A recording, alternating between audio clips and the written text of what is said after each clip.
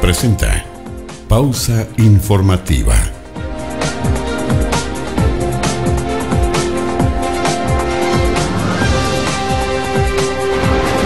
¿Cómo están? Bienvenidos a una nueva edición de Pausa Informativa. Y todos me preguntarán por qué estoy así. Pareciera que estoy apuntando, como que me creo eh, eh, 007. Pero yo sería como el 003,5. No alcanza a ser el 7. ¿eh? No, ¿sabe por qué estoy haciendo así? Eh, se nos viene julio. Y Julio siempre salía así. Sí, se nos viene Julio. Julio viene heavy. ¿Sí? Tan, tan, tan, tan, tan. Se nos viene Julio. ¿ah? Bueno, se nos viene Julio. Pero este día, este día jueves 29 de junio, queremos saludar cordialmente a todos los Pedros, a todos los Pablos. Un saludo muy cordial para los Paulos, para los Paolos, para todos ellos, realmente un saludo muy, pero muy cordial, fraternal saludo para los peyugos también, ¿ya? Eh, ¿Cómo se les dice a los Pedros también? Aparte peyugo, ah, para los Peter, Peter, ¿ya? Oh, me acordé de Peter, el de, eh, eh, ¿cómo se llama este? El del Pato Donald, donde sale Mickey, ¿te acordás? Peter el Negro, Peter el Negro, ahí está, sí. Peter Veneno, Peter Home. El que hizo el Cristo de madera, mire qué bien, bien. Eh, sí, eh, sí, un saludo muy cordial también para ellos. Senadores, diputados también. ¿ah? No, hay- no, ya, un senador, Pedro Araya, de Antofagasta, del norte de nuestro país. Un saludo muy cordial para usted, señor eh, senador. ¿ah? No es por nada, pero estuve leyendo un meme hoy día que me gustó. ¿Lo puedo decir antes de empezar las noticias o no? Ya, es cortito, súper corto. ¿Sabe qué? ¿Se ha dado cuenta de que cuando uno es el dueño de una empresa y contrata a una persona, eh, por lo general, eh, el dueño es el que recibe el mayor aporte económico, ¿sabes? Ah, Las personas llegan a un acuerdo diciendo tú vas a ganar tanto y uno acepta o rechaza la propuesta que te pueden entregar. ¿ah? Con los políticos pasa lo contrario. Porque resulta ser de que ellos viven de el sueldo de nosotros, entonces pasa a ser como nosotros el dueño de la empresa. Y ellos pasarían a ser como los trabajadores, con un monto, pero hay una diferencia. ¿ah? Que ellos se enriquecen y uno se empobrece. Vamos a las noticias, ¿qué le parece? Ya. Comenzamos las noticias en pausa informativa. Gracias por estar junto a Frecuencia 7 y también Cultura Online. Comenzamos en Viña del Mar, la ciudad jardín, la ciudad del reloj. No de este reloj, de este reloj. ¿Eh? ¿Canta con el reloj también? Ah, sí, un paribet. No te puedo creer. A ver, muéstralo. Hoy tiene la foto de Paribet. ¿No te pa- es como un holograma ese que tiene así. Mitch. Oh. No, este. Me lo regaló ella. ¿No? ¿Viste? ¿Viste? Tonka, ¿qué hora es? Ya.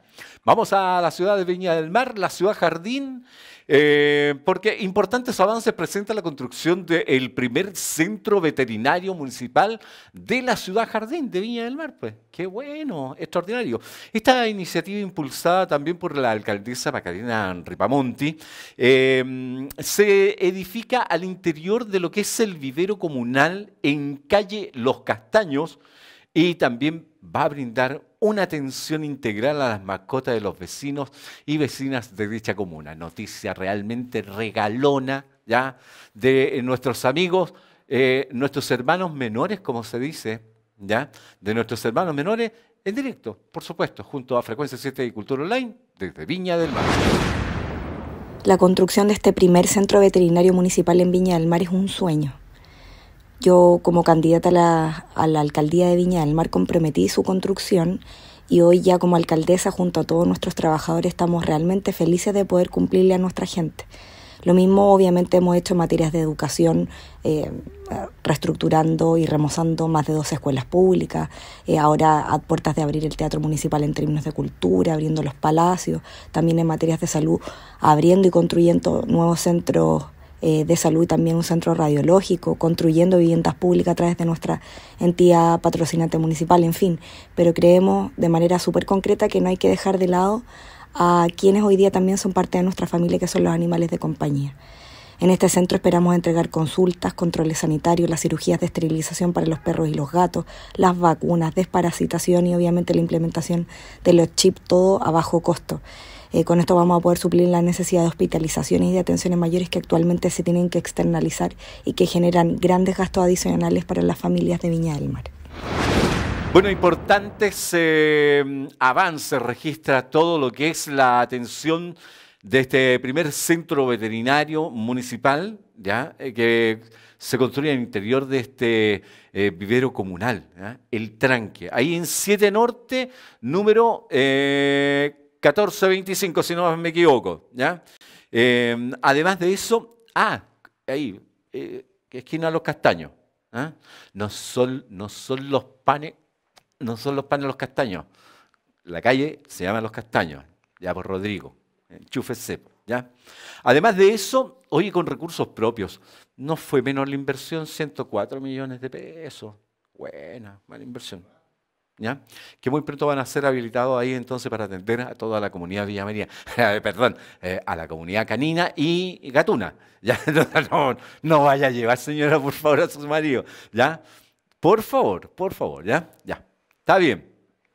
Vámonos a Quillota, ¿qué le parece? Porque la municipalidad de Quillota, y el Centro de Formación Técnica de la Pontificia Universidad Católica de Valparaíso realizaron una jornada puertas abiertas para alumnos del área de la salud. Bueno, esta iniciativa bastante importante eh, incluyó también charlas sobre lo que es el modelo de salud que se aplica en la comuna de Quillota y los testimonios también de profesionales que trabajan en dicha comuna. Noticia importante de la salud destacada, pausa informativa.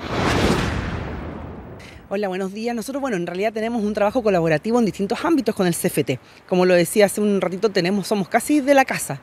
Tenemos un trabajo colaborativo en áreas de desarrollo económico, de IDECO y en este caso de salud. Y la idea es poder eh, reforzar esta colaboración, dar cuenta de esta articulación público-privada, en este caso con una institución eh, de carácter educativo, de cómo de alguna manera nosotros también aportamos a la formación, en este caso de los técnicos en enfermería, eh, ofreciendo espacios de práctica, ¿cierto?, para que ellos puedan desarrollar de mejor manera sus procesos de aprendizaje y por otro lado también ser un aporte indispensable para la labor que desarrollamos hoy día en APS.